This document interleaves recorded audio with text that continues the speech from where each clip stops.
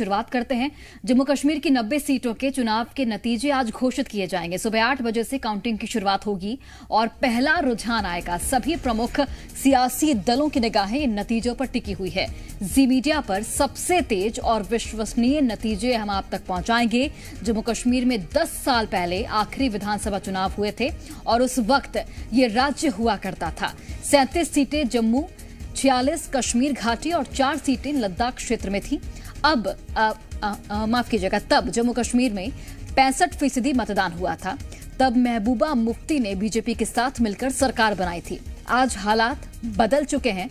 राज्य में आर्टिकल 370 हटने के बाद ये पहला चुनाव है जिसके आज नतीजे आएँगे। आठ बजे से काउंटिंग की शुरुआत होगी और 10 साल बाद ये मौका है जब विधानसभा चुनाव हुआ था और आज शाम तक नतीजे भी आ जाएँगे।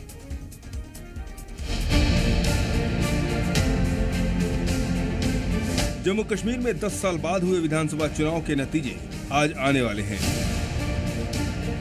जिसे लेकर मतदाताओं और राजनीतिक दलों में जोश भी है। आशंका है कि 1 अक्टूबर को 90 विधानसभा सीटों पर आखिरी चरण का मतदान पूरा हुआ था। जबकि इससे पहले 18 सितंबर को पहले चरण और 25 सितंबर को दूसरे चरण का मतदान हुआ था। ये चुनाव इसलिए भी खास है क्योंकि अनुच्छेद 370 हटने के बाद जम्मू कश्मीर में पहली बार विधानसभा चुनाव हुए हैं। अनुच्छेद 370 हटने के बाद से जम्मू कश्मीर के राजनीतिक हालात में बड़े बदलाव देखे गए हैं। और अब आज आने वाले चुनाव के नतीजे इस नए राजनीतिक दौर की दिशा तय करने में अहम भूमिका निभाएँगे। केंद्र शासित प्रदेश बनने के बाद हुए पहले विधानसभा चुनाव में कुल आठ सौ तिहत्तर उम्मीदवारों ने किस्मत आजमाई। आज जनता के फैसले का परिणाम आ जाएगा। श्रीनगर में आठ विधानसभा सीटों के लिए मतगणना, केंद्र, शेर कश्मीर इंटरनेशनल कन्वेंशन सेंटर में बनाया गया है। 19 जिलों की बाकी बयासी सीटों के लिए संबंधित जिला मुख्यालयों में मतगणना होगी। विस्थापित कश्मीरी पंडितों के मतों की गिनती जम्मू, उधमपुर और दिल्ली में होगी, जहाँ मतगणना केंद्र बनाए गए हैं।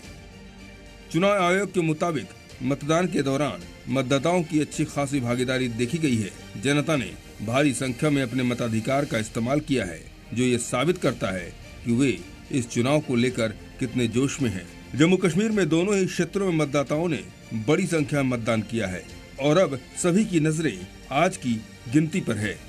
राजनीतिक जानकारों का मानना है कि ये चुनाव न केवल जम्मू कश्मीर की राजनीति के लिए अहम है, बल्कि राष्ट्रीय स्तर पर भी इसका प्रभाव पड़ना तय है। सभी प्रमुख राजनीतिक दल और उनके उम्मीदवारों की किस्मत का फैसला आज हो जाएगा।